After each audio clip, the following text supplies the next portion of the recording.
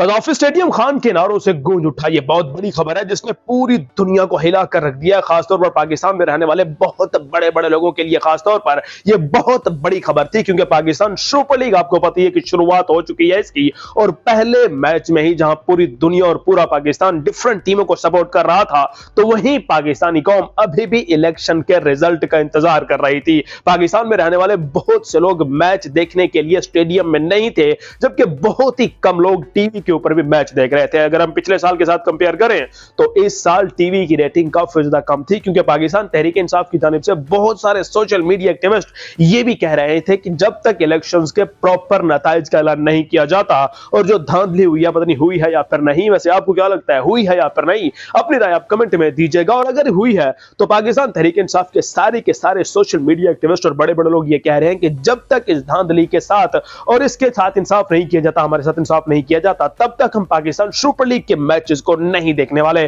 तो इस खबर ने पूरे पाकिस्तान में रहने वाले और खासतौर पर पाकिस्तान सुपर लीग की इंतजामिया को हिला कर रख दिया है, क्योंकि बहुत कम व्यूअरशिप इस साल पाकिस्तान सुपर लीग को पाकिस्तान के अंदर ही देखने को मिल रही है।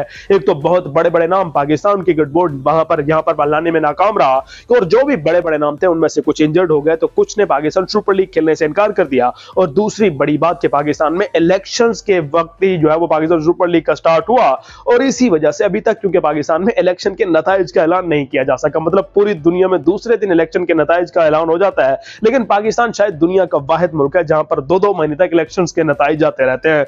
तो ये सारी खबरें पता नहीं कहाँ पर पाकिस्तान को लेकर जाती है, किसकी हुकूमत बनती है, किसकी नहीं। लेकिन गजाफे स्टेडियम के अंदर जो लोग मौजूद थे, उन्होंने पूरी दुनिया को वाजे पैगाम दिया कि वो सब के सब इमरान खान के साथ मौजूद है, खान के साथ मौजूद है और वो खान के नारे लगा रहे थे।